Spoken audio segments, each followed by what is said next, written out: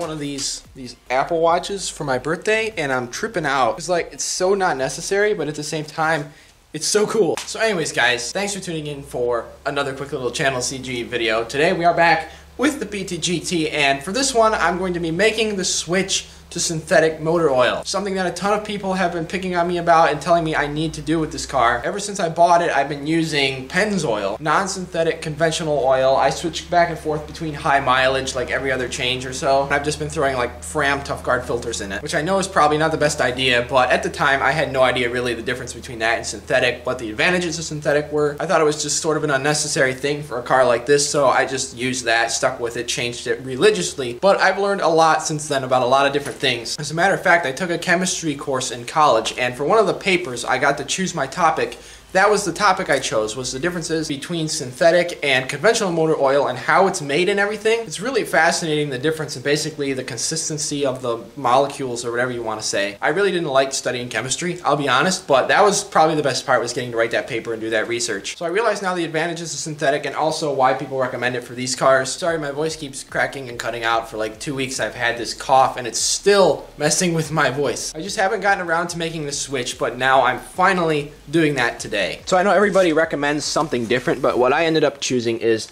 Mobil One. Just their normal full synthetic, they call it the advanced full synthetic. I've heard a lot of good things about Mobil One. I know some trustworthy people use it. It's not that expensive. I think it's like $23 for five quarts, which compared to me spending about 17 on the stuff I was before, it's not really a big deal. I don't really care. I'll spend as much as I have to to make sure that my car is well protected. So I'm just rolling with this. It's simple, but it's also full synthetic, and I know it's gonna do a better job keeping everything lubricated up in there. I promised, even though there's a Walmart bag here, that I didn't buy buy it from there. I also got a Mobil One filter. I was gonna go with a K&N, but they actually didn't have what I needed in stock. So I'm just rolling with that because, well, Mobil One, Mobil One, I guess you can't really go wrong there. So that's what we're going to be rolling with now with the PT-GT. I know you guys have been on my butt to switch to synthetic and picking on me for using Pennzoil and everything. I've always had good luck with Pennzoil. I don't really know why people don't like it, but I do realize that it's probably for the better that I switched to synthetic to keep things protected a little better. So I want to get started on doing this oil change, but really quick first, I'm going to skip to a quick little update on what is going on with the Eldorado and why the video is not out yet. So let's skip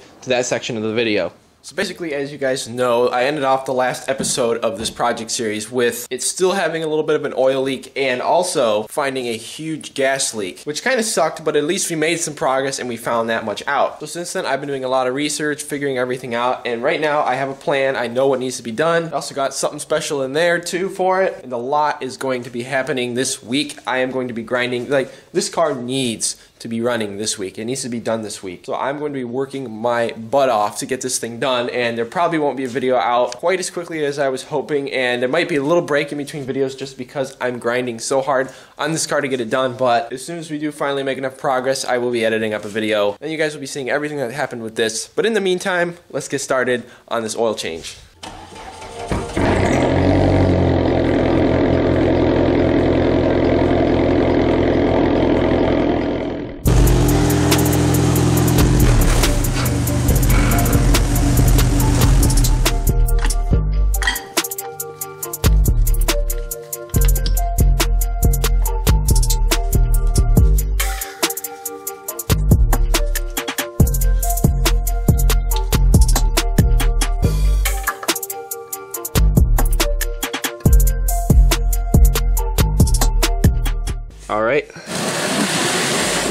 Finally, an easy job.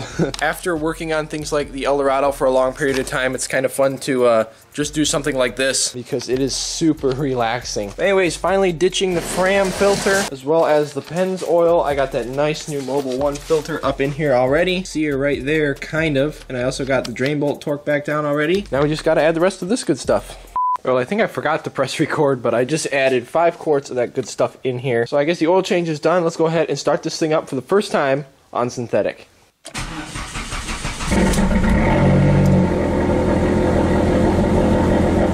Alright guys, so as you can see, it dripped a little bit. After I started the car, thankfully I looked up under it, which I'm really OCD about doing and like triple checking everything after I do an oil change and making sure everything is a-okay. And it's a good thing because I found that it was leaking a little bit where the oil filter was. Basically, the filter wasn't quite tight enough. I ended up snugging it down a little with the wrench and everything was fine. But I think the reason that happened is because I'm used to those Fram filters that have like a rubber coating on the end. And I often wear rubber gloves too, so I can usually snug them down by hand really nice and that's more than enough. But the Mobil 1 filter was smooth and I was also using my bare hands, so when I got it as tight as I could, hand tight, it wasn't quite enough. So it dripped a tiny bit, but I ended up using, I have these pliers, these things. They're oil filter pliers, I guess. I love these things. They're my favorite oil filter tool. I just use these to very gently snug it down, and that was more than enough. So I guess that was the only hiccup today that we had. Also, shout out to my friends for giving me this sticker. I have no shame. We're just ricing it out one day at a time here. Well guys, unfortunately, as of recently, my car's been doing the death wobble again. What I mean by the death wobble is basically when I get up 55, 60 miles an hour in through there, the steering wheel just starts going crazy. As you guys know, it has new tie rod ends and like I've gone through everything in the front suspension at one point or another. And the car has like brand new tires and everything too, so I really don't understand what's going on, but here, let me see if I can give you guys a little demonstration. Doing about 45, 50 in through there and the steering wheel vibrating a little bit, but once we get going a little more, getting close to 60, really starting to vibrate. I don't know if you'll be able to see it. Go a little faster. Now it's really bouncing. You should be able to see that.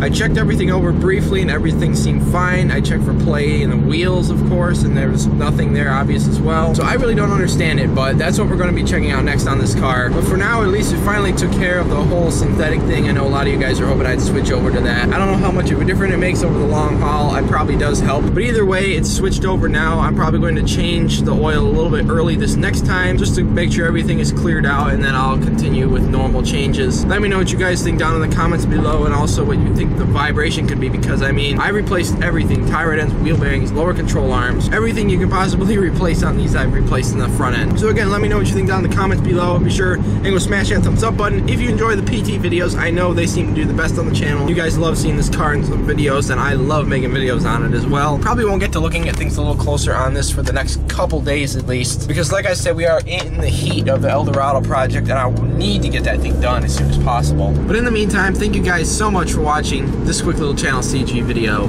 You rock. God bless and I will see you in the next one.